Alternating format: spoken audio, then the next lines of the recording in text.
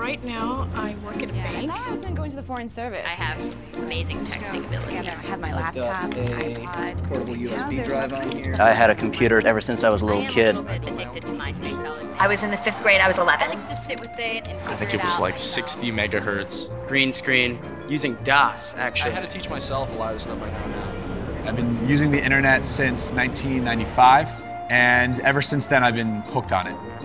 Other people get excited about cars or baseball. That's how I feel about computers and technology.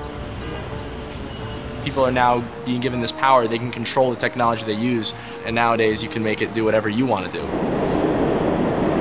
It makes any corner of the globe something that I can access and utilize efficiently. You can work on a park bench. You can work in Italy. You can be anywhere. You can do anything. It's sad to say, but I couldn't really imagine my life now without it. I don't think that it's even possible nowadays for us to just kind of do one thing at a time. Too much is going on.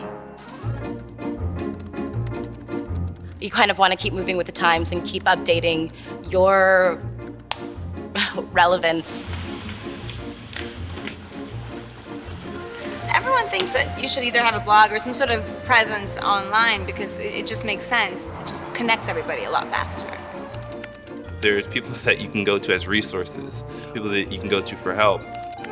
We have our skills and our intelligence spread over a whole network of people uh, instead of just, uh, you know, me and my close friends. It's my friends, it's my friends' friends, it's it's my friends' friends' friends to to the nth degree.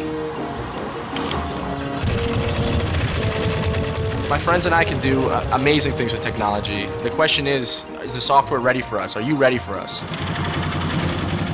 If companies can find a way to integrate everything, to connect everything, software and, and devices and chat and these Facebooks, if it's everything will just work seamlessly, that's the utopia that we all dream about.